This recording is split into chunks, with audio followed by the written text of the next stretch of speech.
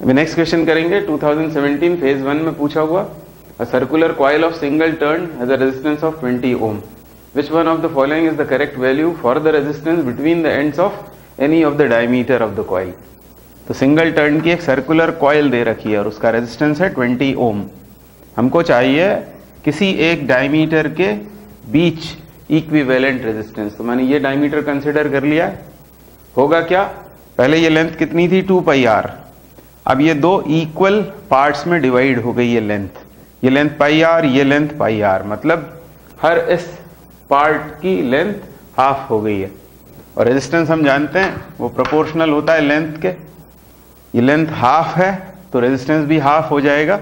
मतलब A B C इस part का अपर पार्ट का रेजिस्टेंस हो जाएगा कितना? 10 ओम के बराबर। इसी तरह से ए डी सी ये जो लोअर पार्ट है, उसका भी रेजिस्टेंस होगा 10 ओम अब जब हम बैटरी कनेक्ट करेंगे बिटवीन ए एंड सी या अक्रॉस ए एंड सी तब क्या होगा? यहाँ से करंट आएगा और वो डिवाइड होगा. और करंट का डिवाइड होना बता रहा है कि ये दो रेजिस्टर्स 10 10 ओम के, ये आपस में है पैरेलल में. और 10 10 ओम के दो रेजिस्टर्स पैरेलल में कनेक्टेड होंगे तो इक्विवेलेंट हो जाएगा 5 यानी इस क्वेश्चन का आंसर है 5 मैं आपको फिर से समझा देता हूँ। सर्कुलर कॉयल दी हुई थी 20 ओम उसका रेजिस्टेंस था। हमको किसी एक डायमीटर के बिटवीन इक्विवेलेंट चाहिए था। तो ए सी के बिटवीन हम फाइंड कर रहे हैं इक्विवेलेंट रेजिस्टेंस तो ए और सी के बीच हम बैटरी कनेक्ट करेंगे। ये दोनों इक्वल पार्ट्स में डिवाइड हो गए लेंथ आधी हो गई तो रेजिस्टेंस भी जो पहले पूरा 20 ओम था, अब वो 10 ओम के दो पार्ट्स में डिवाइड हो गया। और यहाँ से करंट जब आएगा तो वो यहाँ डिवाइड होगा ये जंक्शन है।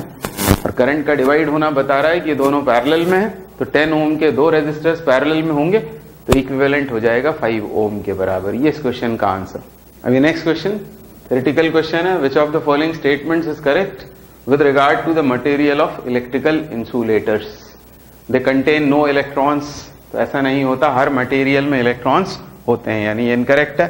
Electrons do not flow easily through them ये बात ठीक लिखी हुई है।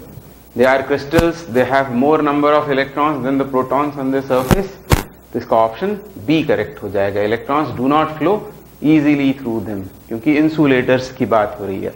अभी next question which one of the following physical quantities does not affect the resistance of a cylindrical resistor?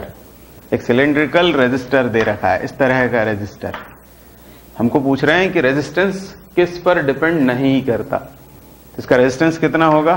तो वो होगा रो इसके मटेरियल की रेजिस्टिविटी फिर इसकी लेंथ और area of cross section rho L by A तो पहला ऑप्शन है the current through it its length, the resistivity of the material used in the resistor, the area of cross section. तो इसमें से ये तीनों करेक्ट हो रहे हैं। लेंथ रेजिस्टिविटी और एरिया ऑफ़ क्रॉस सेक्शन पर डिपेंड करेगा resistance not on the current through it इसलिए इसमें से इनकरेक्ट ये है, पर हमारा ऑप्शन ये सही होगा, क्योंकि हमसे पूछा है वो कौन सी क्वांटिटी है जो रेजिस्टेंस को अफेक्ट नहीं करती, और वो है करंट थ्रू इट तो आंसर ए इज़ करेक्ट अभी next question which one of the following is the value of one kilowatt hour of energy converted into joules in other words हमसे one kilowatt hour और joule में relation पूछ रहे हैं। तो repeated question है, आपको डायरेक्टली इसका आंसर पता है। क्या है इसका answer 3.6 times ten raise to the power six joule कैसे आता है? वन किलोवाट आर का मतलब होता है one kilo kilowatt into one hour और एक किलो किलोवाट मतलब ten raise to the power three watt और वन आवर कंटेन्स 3600 सेकेंड्स यानी 3.6 point six into ten raise to the power six watt into second और watt into second होता है? Joule तो 3.6 point six into ten raise to the power six joule is one kilo watt hour कभी कभी इसे 36 लिख लेते हैं। 36 लिखेंगे तो क्या करना पड़ेगा? इसमें 10 का मल्टीप्लीकेशन और इसमें 10 से डिवाइड तो 36 times ten raise to the power five joule भी कभी कभी लिखा हुआ होता है। तो करेक्ट ऑप्शन इज़ बी अभी नेक्स्ट क्वेश्चन 2018 फ़ेज़ वन में पूछा हुआ which one of the following devices is non ohmic तो जैसे ही आप ये ऑप्शंस पढ़ेंगे सेमी कंडक्टर डायोड यदि आपको दिखाई देता है तो यही है non ohmic semiconductor diode या ट्रांजिस्टर कोई भी सेमी कंडक्टर डिवाइस वो नॉन ओमिक होती है. Others are ohmic resistors conducting copper coil हो, या हीटिंग कॉयल हो, या रियोस्टेट हो. तो option C is correct semiconductor diode और semiconductor device is non ohmic क्योंकि इसके लिए वी आई ग्राफ जो आएगा वो स्ट्रेट लाइन नहीं होगी। सो सी इज़ करेक्ट अभी नेक्स्ट क्वेश्चन 2018 फ़ेज़ टू में पूछा हुआ if a free electron moves through a potential difference of one kilo volt then the energy gain by the electron is given by तो potential difference आपको पता होगा, वो होता है वर्कडन पर यूनिट चार्ज और इसलिए इलेक्ट्रोस्टैटिक्स में वर्कडन का फॉर्मूला होता है चार्ज इनटू पोटेंशियल डिफरेंस और ये वर्कडन ही चेंज इन काइनेटिक एनर्जी के बराबर होता है। हमसे यही पूछा हुआ है कि energy gained by the electron तो क्या करेंगे? इस क्यू की जगह पुट करेंगे। इलेक्ट्रॉन का चार्ज मतलब ही 1.6 times ten raise to the power minus nineteen coulomb और पोटेंशियल डिफरेंस कितना दे रखा है? वन किलो वोल्ट यानी ten raise to the power three volt और कूलम इंटू वोल्ट यही होता है जूल के बराबर। अब ये पावर्स यदि रीअरेंज करें तो ये आ जाएगा माइनस सिक्सटीन जूल यानी एक इलेक्ट्रॉन को एक किलो वोल्ट पोटेंशियल डिफरेंस पर यदि मूव करेंगे तो कितनी एनर्जी वो गेन करेगा? 1.6 times ten raise to the power minus sixteen joule and so option B is correct अभी next question consider the following circuit इसमें चार रेजिस्टर्स का एक नेटवर्क दिया हुआ है।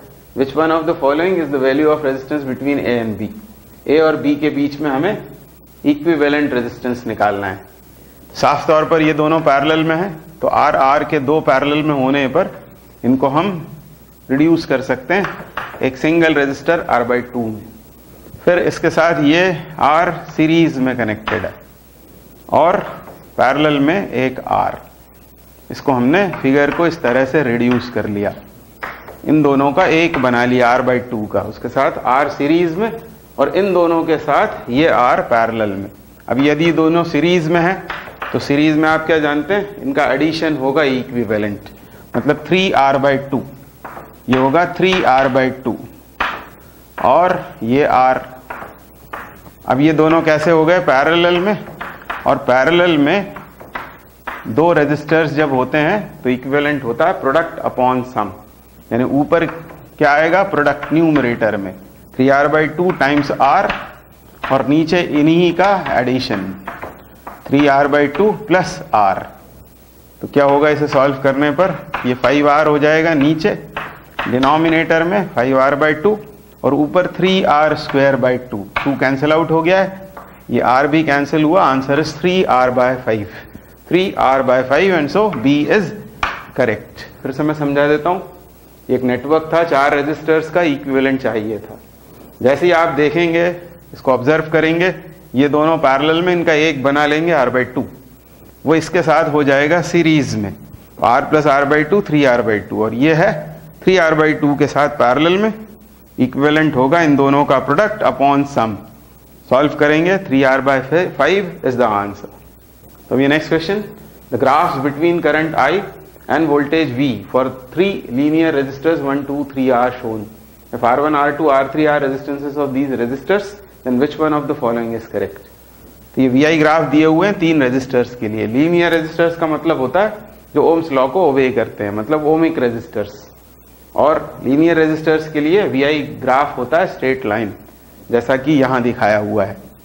और इस ग्राफ का स्लोप हमको क्या बताता है? स्लोप मतलब टेन थीटा टेन थीटा क्या होगा? Quantity on Y axis upon quantity on X axis मतलब आई बाय वी और आई बाय वी होगा one by R reciprocal of resistance अब टू के लिए ये एंगल सबसे कम है थीटा टू इज़ लीस्ट उसके बाद में है थीटा थ्री थीटा थ्री और सबसे ज़्यादा है ये एंगल वन के लिए थीटा वन तो ये रिलेशन है थीटाज में. इनके टेंजेंट्स ले लेते हैं तो tan theta two is less than tan theta three is less than tan theta one क्योंकि थीटा और टेन थीटा भी डायरेक्टली प्रोपोर्शनल ही होते हैं। अब टेन थीटा सबसे ज़्यादा किसके लिए आ रहा है? वन के लिए। और टेन थीटा सबसे ज़्यादा है तो रेजिस्टेंस सबसे कम होगा वन का। तो आर वन इज़ लीस्ट इसके बाद नंबर आएगा आर थ्री का।